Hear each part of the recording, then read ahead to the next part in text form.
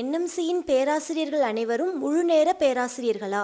நிச்சயமாக national management காலேஜிலே எந்த ஒரு பகுதி நேர பேராசிரியரும் கிடையாது. அனைவருமே முழு தகுதி பெற்ற முழுநேர பேராசிரியர்கள் fully residential professors faculty stream